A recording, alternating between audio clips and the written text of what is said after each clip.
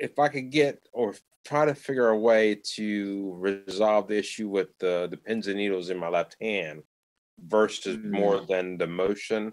Like I can I can use my arm, I can use my hand, but it's just the pins and needles. So it's sometimes it's hard for me to, you know, do stuff that is very precise or even, you know, it sounds crazy, like even like to touch your the inside of your ear it's hard because my hand will shake because of the the stroke. Um, so I'm just trying to figure out, um, not like versus pain. It's just more control um, of yeah. my, my left hand, my my foot. Yeah. So that is that is a classic problem um, with respect to how the stroke can impact your ability to control fine motor skills. Um, and especially, it sounds like you also have some impaired sensations. Um, and impaired doesn't necessarily mean absent, right? Uh, it could also mean altered sensations. And that's very classic following a stroke as well, where the information that would normally tell you kind of if something was touching you or hot and cold or where your movements were, th- those bits of information can be misinterpreted. Um, or, or I guess, and or those sensation capabilities are kind of ability to discriminate sensation. There's a classic, really fundamental task that our sensory systems do. Those can be less sensitive.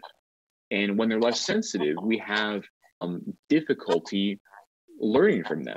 This is really interesting because when we, for instance, my classic example is going to reach out and pick up a coffee cup. Um, when you go to reach out and pick up a coffee cup, it's not just simply you you want you generate a specific movement and then it just um, happens right? We actually will start the motion and then we'll learn hey i'm actually off i'm off target here. I need to adjust. You can kind of course correct.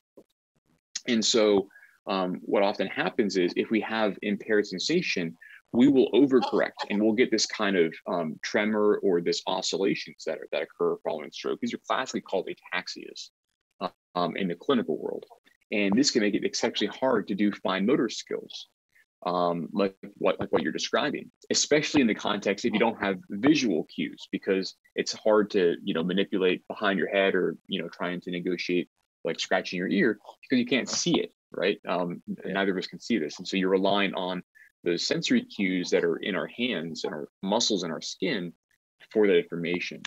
Um, and so the the Motus hand in these cases um, can help improve those sensory motor capabilities by um, takes away your visual sort of dependence on learning and it forces you to learn to know where your body is in space because you have to generate motor programs to uh, perform various tasks and those tasks can be of a variety of, of sort of difficulty and complexity.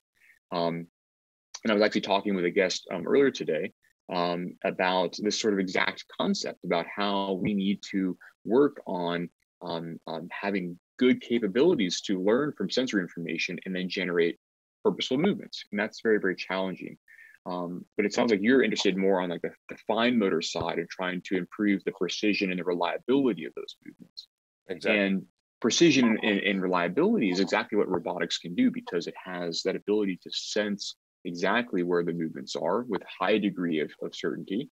And it's reliable day in and day out right? They're just it's a robotic device. It can measure things. It doesn't care if it's if it's hot cold whatever day it is um, or how you feel right? It's going to tell you an objective truth about what your movements are and it's going to help provide a training stimulus for you to learn how to perform those tasks reliably again.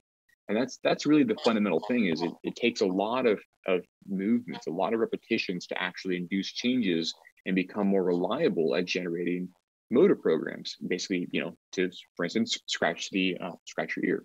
Um, you have to be able to do that a lot in order to regain that capacity. And the Motus hand helps provide a conduit by which you can actually get those ter- um, types of rehab um, interventions.